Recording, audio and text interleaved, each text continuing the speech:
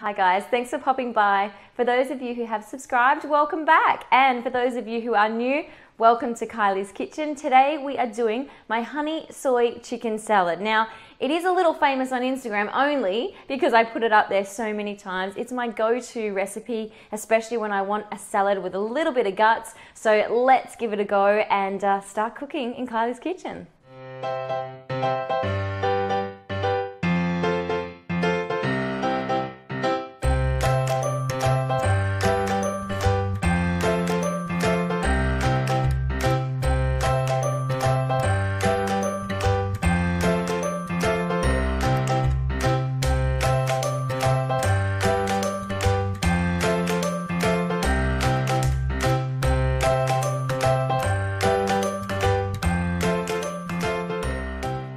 This is roughly what you're going to need. I say roughly because I always seem to forget just one little thing, but pretty much any knife or spatula or frying pan that you have in the kitchen is going to be what you need generally anyway. So you'll always have it. We're going to do a, uh, a salad for just one person. So if you obviously want to make it for more than one person, all you need to do is double up. And I'm making it simple so that, well, sometimes Kelsey Lee and I are at home on our own and I just want a salad for myself. So this is how I would make the honey chicken salad if I was home and I just wanted dinner for one.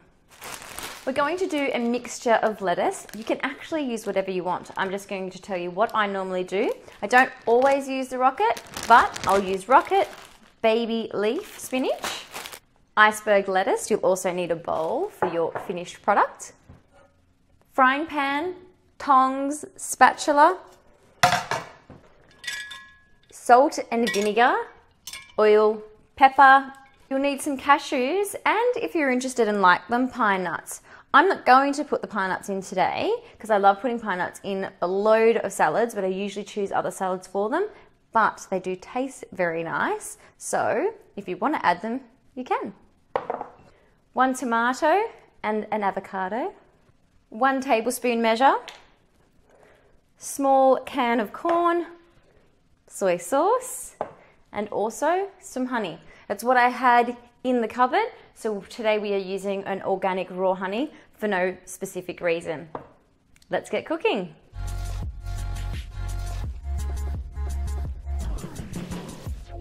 Of course, you know, we cook with gloves. So here we go. I'm going to just chop up a little bit of iceberg lettuce now, depending on how much lettuce you would like of each, depends on how much you're going to put in. So, I do it as I go. And it also depends on how hungry I am. So I'm kind of going to just get an idea inside the bowl of how much lettuce I would like because the chicken's going to sit on top. Can you tell I chose I think the biggest bowl in the cupboard. I'm happy with that because my ingredients are going to go on top as well as the chicken. So I always wash my lettuce. So I'm just going to put this now through some water, spin it out, and then pop it back in the bowl. So I'm just going to spin my lettuce. I remember when my mum used to do it the good old way. She did have one of these, but before then, um, she used to put it in a tea towel and then just tap it dry. I did it too, I remember. The good old days, you know, when I was a youngster. So simple, guys. Going to love it. Now, I've changed my mind. I'm adding a shallot. I love a bit of onion. Don't have to have a shallot if you don't want to. Another one is a Spanish onion, the purple onion. I'm going to have it cut down the center just to make sure that those pieces are a little bit smaller.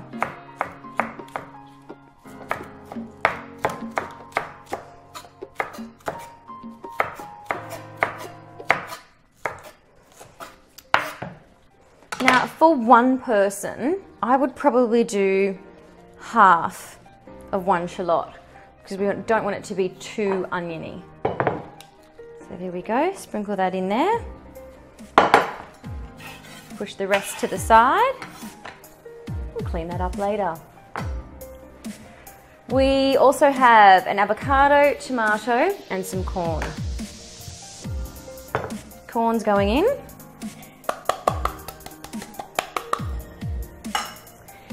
One tomato. I'm probably going to use about anywhere between half to three quarters of a tomato. I don't know about you, but I have funny days where I love tomato and other days where I'm not so in love with it.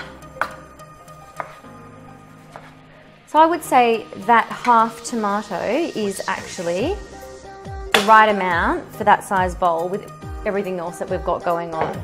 Next is our avocado. Now, as much as I love avocado for flavour, I also love it because I think it looks good on top.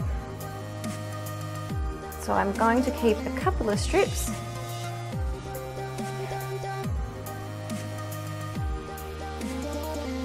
a little longer for the top for decoration.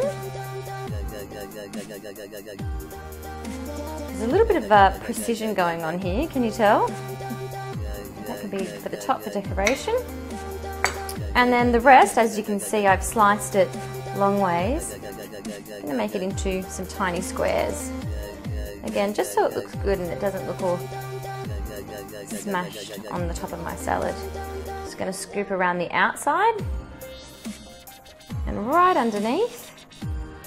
Then you'll see we've got all little squares to pop into the salad. So that is pretty much it for that part. We now need the frying pan because we are going to fry up some cashew nuts. I also said you can use pine nuts if you wish. And then I'm going to show you how we do our really simple honey soy chicken dinner for one. So now we're going to cook the cashew nuts. The frying pan is nice and hot, ready for them to sizzle a little. Bit of olive oil. Might be too much for some, but that's exactly how I like it. So as you can see, I'm just going to wait for that oil to sizzle just a little bit because I want to make sure that the frying pan is piping hot before I pop in my cashew nuts. Okay, in we go. So as I mentioned, you can also put in some pine nuts, completely up to you. It does make the dish look nice and it tastes really lovely as well. But I'm going to be doing a couple of other salad dishes so I want to add the pine nuts into a dish where I'm going to use some beautiful goat's cheese. And I just want to make sure that not every single salad that you have from my recipes is going to be the same. So as you can see, that's so hot, so they're heated up really, really quickly. Bit of colour, straight back into the bowl.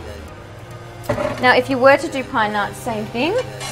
Just going to show you. They'll, they'll heat up really quick.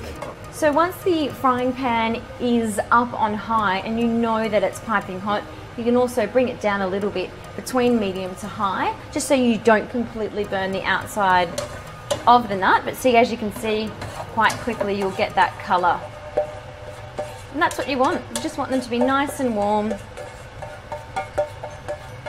So we're going to now cook our chicken. Frying pan is nice and hot. A little bit of I always use virgin olive oil to cook with, it's just what I do.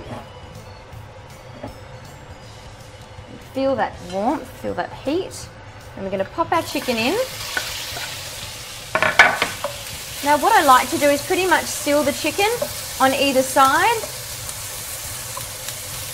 And I want to make sure that I use the honey in a way that it's going to give me a bit of a sticky, sticky honey chicken. But I still want it to be on the frying pan and fried rather than poached for this particular flavour or steamed for that matter. So a little bit of salt and pepper while we can see the underneath layer cooking away.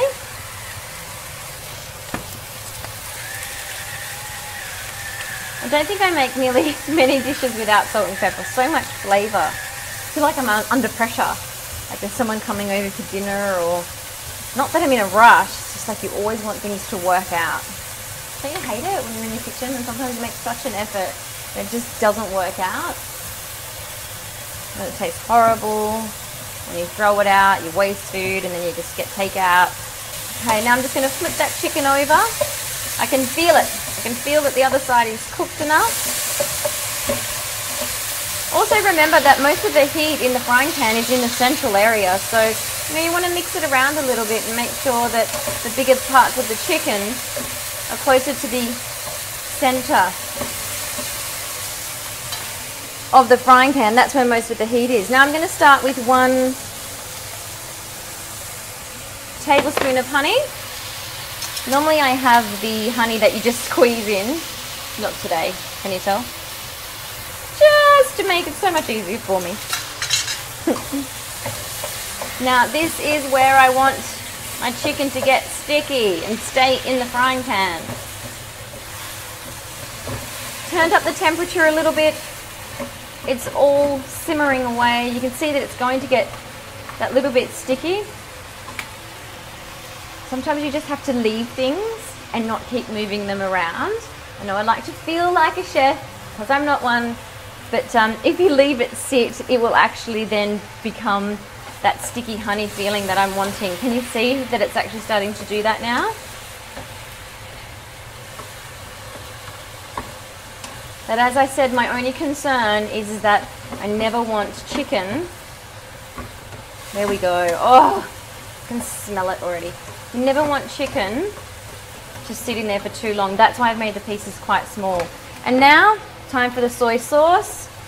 Dash of soy sauce, just enough to cover each piece.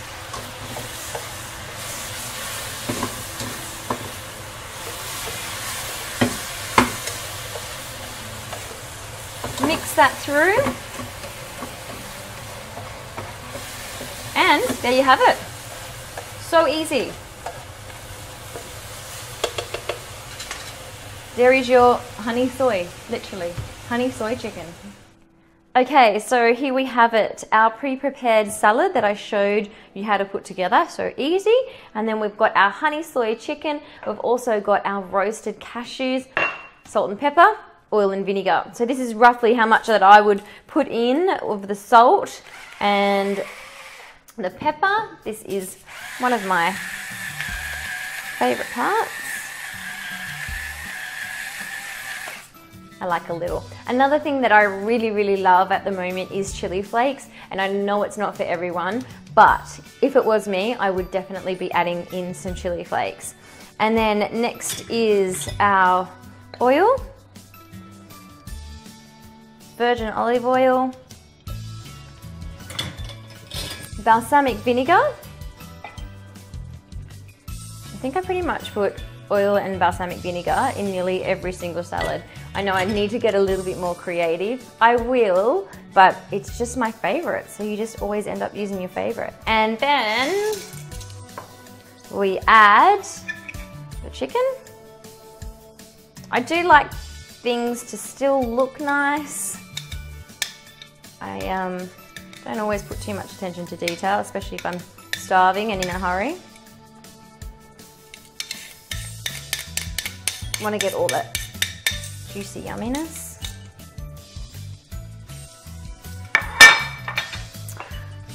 Our roasted cashews, a few around the outside, a couple in the center.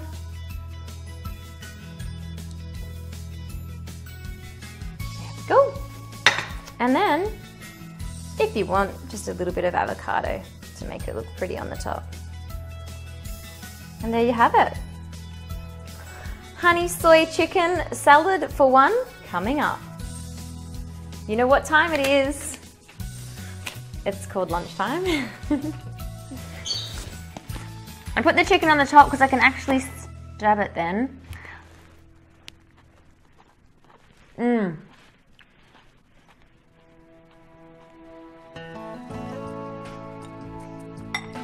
I think that the um, the chicken is nice and sticky, which is good. I like the softness and the sweetness that the avocado gives. For me, the, the, the balsamic vinegar, it's, um, it's just, it always just seems to be perfect in a salad. And roasted cashew. Does anyone not like cashews? Well, there you have it. It's got my tick of approval. So there you have it, my honey soy chicken salad for a summer's day. Be sure to subscribe, press the red button below in the description, and I'll see you next time.